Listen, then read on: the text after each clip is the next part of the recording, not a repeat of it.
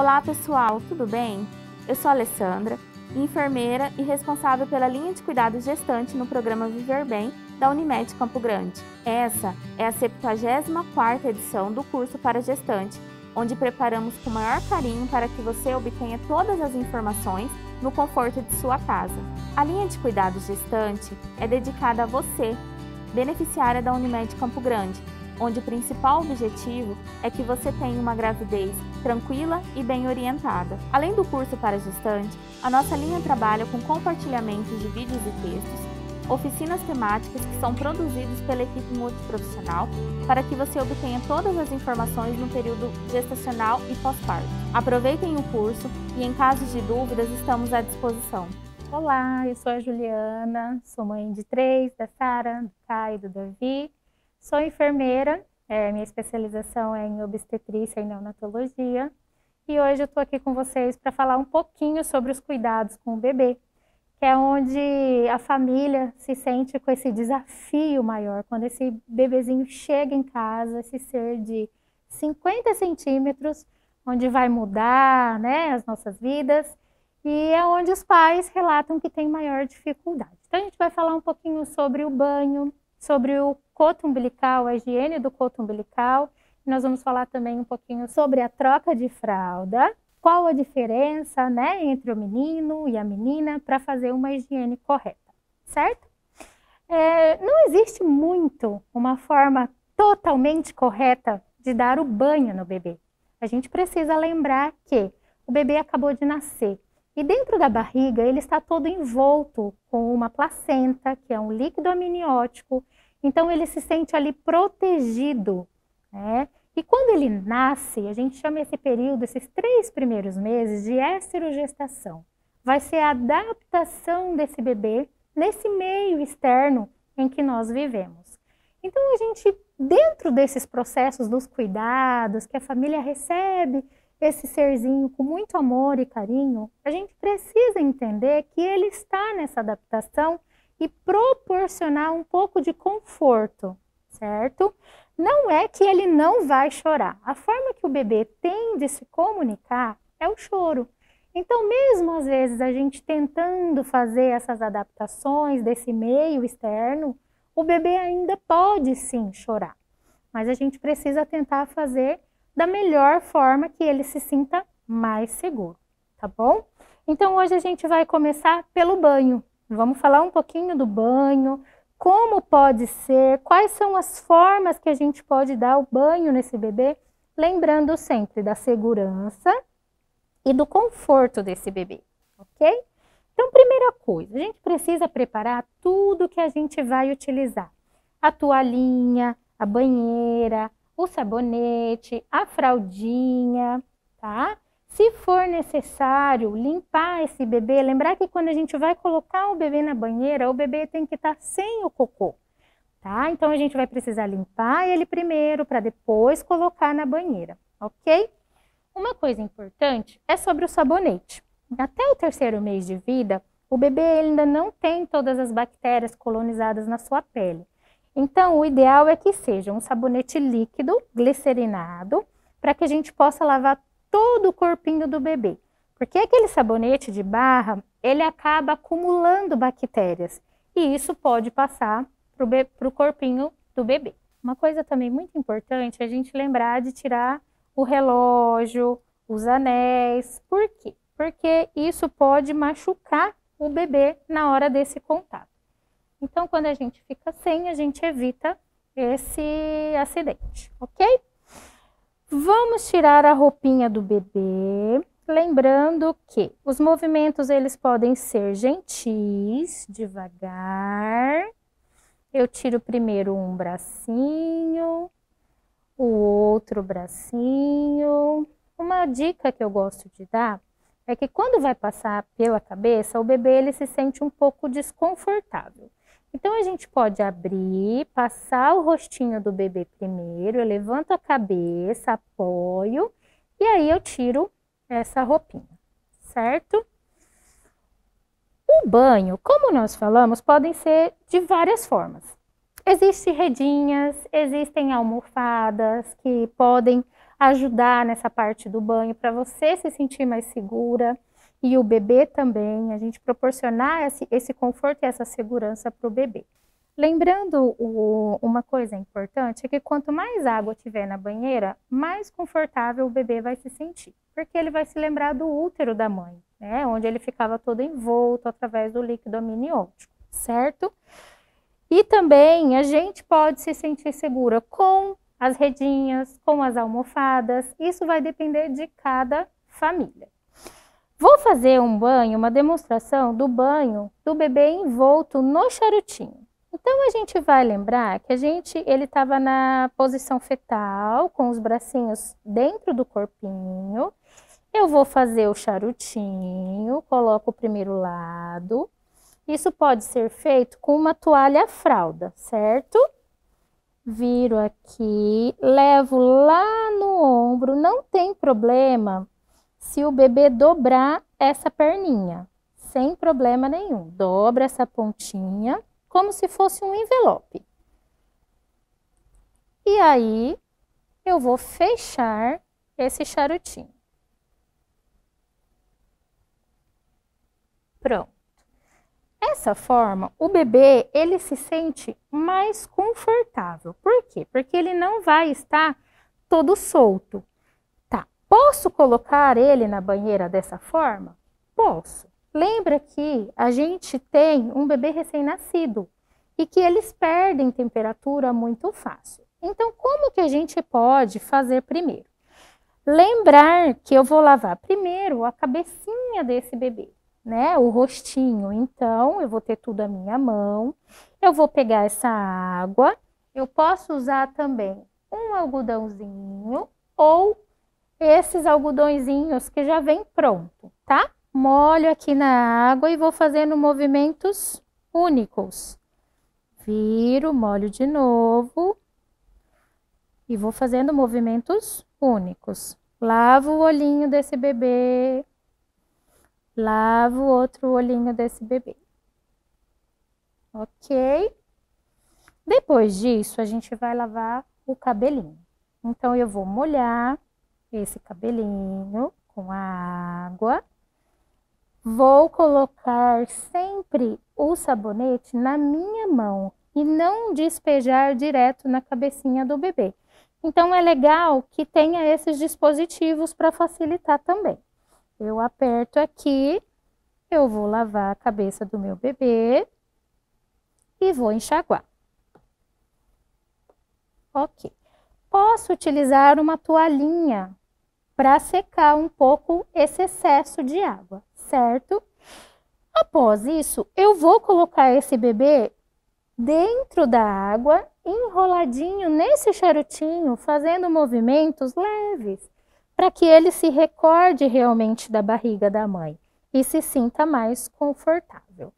Vou molhar todo esse bebê enroladinho mesmo na toalha e devagarzinho eu vou desenrolando para ele ir se adaptando nesse ambiente aqui.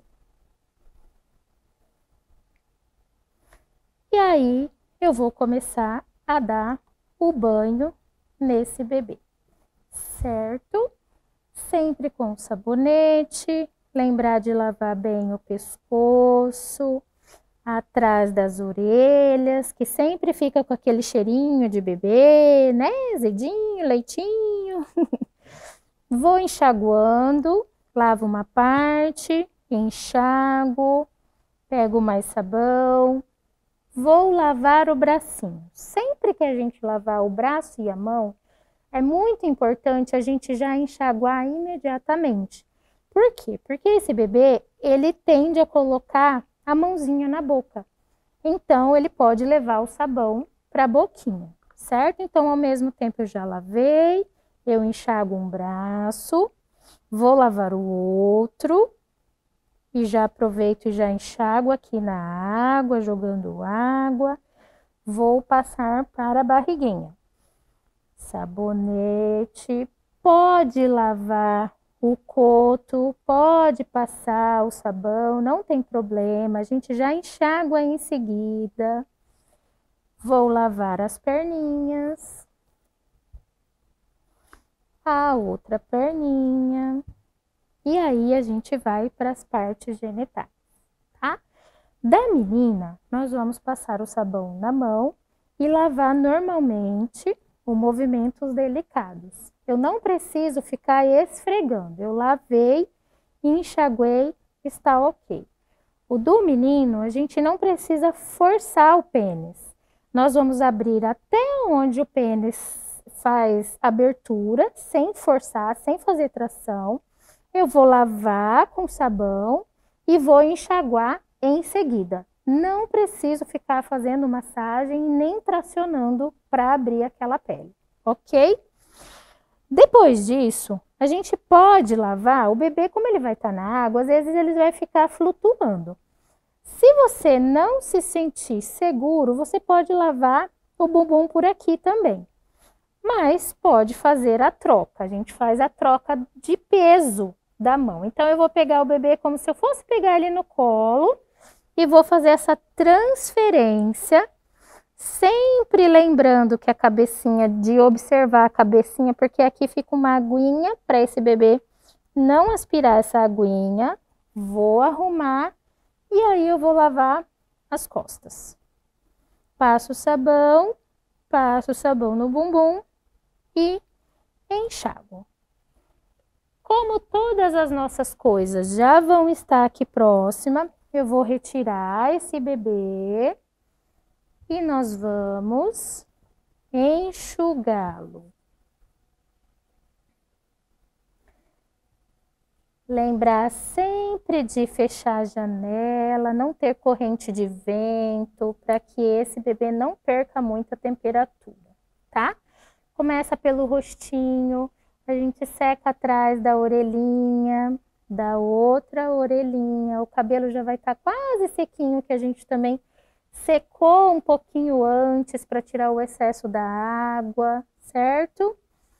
Vamos lembrar de secar bem as dobrinhas no pescoço, debaixo do braço, ok?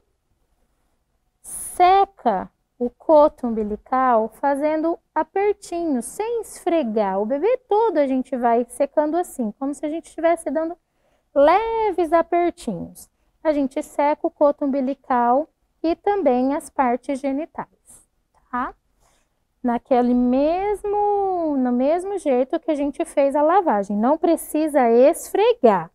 Nós só precisamos secar. Então, tanto a vagina da menina quanto o pênis do menino. Levanto, pronto. Depois disso, eu já recomendo a gente colocar a fralda porque geralmente a gente leva muitos carimbos, né? Principalmente dos meninos. Vem xixi, vem cocô. A gente precisa lembrar que o bebezinho ele mama o tempo todo. Então, toda hora ele ingere um leitinho e ele vai fazer bastante cocô. Nós podemos fazer a troca, a transferência, tirar essa toalha, porque essa toalha ela vai estar tá molhadinha, correto? Então a gente vai tirar essa toalha e fazer uma transferência ali para o trocador, ou só tirar porque ele já vai estar no trocador. Ok. A gente pode colocar a fraldinha, mas sempre lembrando que quando a gente faz esse movimento aqui no bebê, a gente aperta a barriguinha dele. Então, isso pode fazer com que o leitinho volte. Se for colocar assim, levanta delicadamente. Uma outra forma que eu gosto de ensinar é a gente lateralizar esse bebê coloco a fraldinha aqui, eu viro esse bebê e aí sim eu vou arrumar. Aqui eu ainda não vou fechar essa fralda, porque eu vou fazer a higiene do coto umbilical. Lembrando que a higiene do coto umbilical, ela deve ser feita com álcool 70% a cada troca de fralda. Então, isso vai dar uma, em média umas oito vezes ao dia, ok? O que, que, é importante? A gente precisa, esse coto umbilical, ele mumifica, ele resseca, ele vai ficar bem pretinho, Isso vai fazer com que ele caia do corpinho do bebê. E às vezes fica ainda um clamp aqui. Não precisa ter medo de movimentar esse coto umbilical. O bebê, ele não sente dor. O que ele vai sentir aqui é o geladinho do álcool, que às vezes pode incomodar, ok? Então, a gente pode utilizar um cotonete, que é o que eu geralmente mais indico, porque a gente vai conseguir abranger uma parte que é mais difícil para estar tá passando o álcool. Eu vou umidificar esse, esse cotonete com álcool. Ok. E aí eu vou começar pela base do coto umbilical. Movimento circular e único. Fiz toda essa base. Se saiu sujinho, eu vou passar mais uma. Então, eu vou umidificar de novo o outro lado. E vou fazer de novo esse movimento único na base desse coto umbilical. Saiu limpinho, eu vou pegar um outro cotonete, eu vou umidificar ele e eu vou limpar o coto de baixo para cima, de baixo para cima, movimento único, ok? Por último, se o seu bebê ainda tiver aquele clamp, eu vou pegar mais um outro cotonete limpo, vou umidificar e vou passar nesse clamp que fica aqui, certo? Então, sempre lembrar que eu preciso movimentar para limpar todas as partes do coto umbilical em sentidos únicos e sempre trocando o cotonete para que essa higiene fique adequada. E aí ele vai mumificar e vai cair, ok? Agora sim eu vou fechar essa fraldinha. Então, eu fecho essa fraldinha.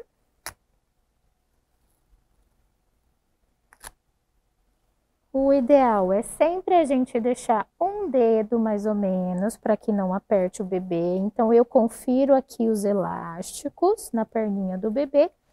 Eu confiro também aqui na barriguinha. E eu, enquanto esse umbiguinho ainda não caiu, eu viro essa fraldinha deixando esse umbiguinho mais livre para que ele possa ficar mais arejado e assim cumpra o seu processo de mumificação e caia. Falando um pouquinho da troca de fralda, lembra no começo que eu falei que quando o bebê for tomar o banho, a gente precisa garantir que ele seja limpinho. Então agora a gente vai falar como fazer essa higiene no menino e como fazer a higiene na menina, ok? Então vamos lá. Lembrando que a gente tem que ter tudo à mão. O ideal é você ter uma aguinha morna. Esses algodõezinhos que eles já vêm prontos são super legais. Isso facilita o nosso trabalho. Porém, a gente também pode usar aquela bolinha de algodão normal. Só que eu gosto de abrir ela, porque senão ela fica muito grossa. E aí eu vou fazer como se fosse um quadradinho mesmo, ó. Dobro ela aqui no meio e aí eu vou molhar ela em aguinha morna e vou fazer a higiene do meu bebê, tá? Uma água que eu gosto de indicar para quando a gente for sair e a gente precisar carregar na bolsa para não utilizar os lencinhos, é essa daqui. Ela é uma água antisséptica, ela ajuda também a proteger a, o bumbum e a pele do bebê, certo? Então eu vou umidificar, vou abrir a minha fraldinha eu posso utilizar a própria fralda para tirar o excesso de cocô, se tiver muito, eu dou uma olhada. E aí eu coloco essa fraldinha lá para baixo do bumbum do neném, para não ficar ressujando a área onde eu vou limpar. No caso, se for menina, nós precisamos lembrar que essa higiene vai ser também sempre em sentido único, certo? E a gente não pode trazer a sujeirinha do bumbum lá para a vagina da menina. Então a gente tem que fazer de cima para baixo em sentido único. Limpei uma vez, eu posso dobrar, se ainda tiver espaço limpo eu vou utilizar, senão eu troco, certo? Limpei outra vez, ok. Tá tudo sujinho, eu pego um novo eu umidifico novamente e eu vou fazer o mesmo sentido, único de cima para baixo, até que toda a área fica limpa. Geralmente o cocôzinho às vezes escorre aqui para trás. Então a gente pode lateralizar o bebê e fazer essa outra higiene aqui de trás, ok? Esse caso é das meninas. Vamos falar um pouquinho dos meninos. Os meninos, a uretra é dentro do pênis, então não tem muito risco de contaminação como o das meninas, certo? O que a gente precisa lembrar é que geralmente debaixo do saquinho fica acúmulo de cocô. Então a gente precisa limpar bem essa região para que o bebê não fique assadinho também. O mesmo processo a gente vai utilizar. Umidifica o algodão, vou fazendo sentido único e aí eu posso e devo erguer o saquinho do bebê e limpar essa região que fica mais difícil e que essa pele também é mais fina. Pode ser que tenha mais facilidade de assaduras, ok? Mesmo processo, eu viro esse bebê de lado e vou fazendo o resto da higiene até que o meu algodão saia limpinho. Em alguns casos, quando a quantidade for muito alta, não vai ter jeito. A gente vai precisar levar para debaixo da água e lavar esse bebê, higienizar com sabonetinho e fazer a higiene adequada, ok? Depois disso, a gente vai lembrar sempre que vou fazer a higiene do coto umbilical e colocar a fraldinha limpa. Nessa fraldinha, é, para a gente se localizar um pouquinho melhor, lembrar sempre que os elásticos, eles são voltados para trás, tá? E a parte que fica na frente não tem um elástico. Então, a gente vai colocar o elásticozinho para trás. Sempre alinhar centralmente para a fraldinha não ficar torta e não correr o risco de vazar. E aqui, ó, nas fraldas, elas vêm geralmente com desenhos ou com numerações para que a gente possa facilitar, né? E colocar mais ou menos o elásticozinho no mesmo lugar, para que a fraldinha também não fique torta, ó. Aqui eu coloquei tampando e deixando o amarelinho dos dois lados. Então, isso eu faço com que a minha fraldinha ela fique centralizada. Lembrar sempre de ajustar as perninhas, colocar o elásticozinho para fora e deixar um dedinho aqui para que não fique apertando e fique desconfortável para esse bebê. Lembrando que os cuidados do bebê nós podemos fazer de forma confortável. E a gente tem os outros métodos. Um método gostoso, que o bebê também se sente confortável, é o do ofurô, Nesse momento, os pais também podem auxiliar. É uma boa hora para os pais ajudarem como rede de apoio. Pode estar fazendo banho no chuveiro, tá? Coloca um paninho, o bebê acoplado no peito, fazendo contato pele a pele. Essa água do chuveiro, ela não vai entrar no, no ouvidinho do bebê. Pode ficar tranquilo. E aí, esse bebê também se sente mais confortável.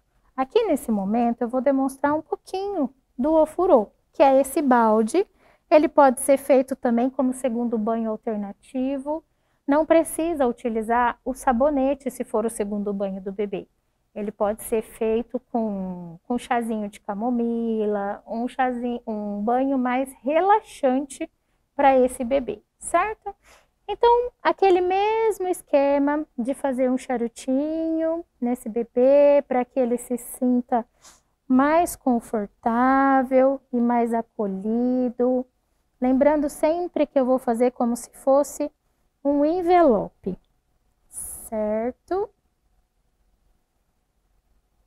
O importante é que esse balde ele fique numa altura mais baixa um pouquinho do que você para que você consiga manusear com mais facilidade. Aqui ele está um pouquinho mais alto, mas o que, que é importante? no bumbum eu vou segurar o peso do bebê. E aí, devagarzinho, eu vou imergindo esse bebê até que a água do balde vai fazer com que esse bebê fique flutuando, como se fosse a gente na piscina. E aí, eu vou segurar esse bebê aqui pelo ombrinho e cabecinha. Posso fazer movimentos leves. Geralmente os bebês acabam dormindo nessa posição e eu não preciso, se for um banho relaxante, eu não preciso usar o sabonete novamente. Eu posso estar tá fazendo isso só como terapêutico. Para fazer a retirada, é o mesmo movimento. Eu vou apoiar a cabecinha desse bebê e vou lá embaixo sustentar o peso com o bumbum, no bumbum do bebê. E aí eu vou fazer essa retirada. Eu posso tirar o paninho lá dentro ou posso já enrolar ele numa toalhinha que seja mais grossa para mim estar tá secando esse bebê. Todas essas formas são formas de cuidado e são formas de higiene. Lembrando que cada família, ela tem o seu jeito, o seu, a sua harmonia familiar. É isso que vai importar. Não é a questão de dar o banho correto ou errado. Não, é aquilo que vai trazer um ambiente mais harmônico para sua casa. Claro, a gente precisa lembrar da segurança do bebê e da família. Eu gostaria de agradecer de estar aqui com vocês nesse momento, compartilhando todas essas informações. Eu fico à disposição, vou deixar o meu contato aqui, caso vocês tenham alguma dúvida, eu estou à disposição. Muito obrigada.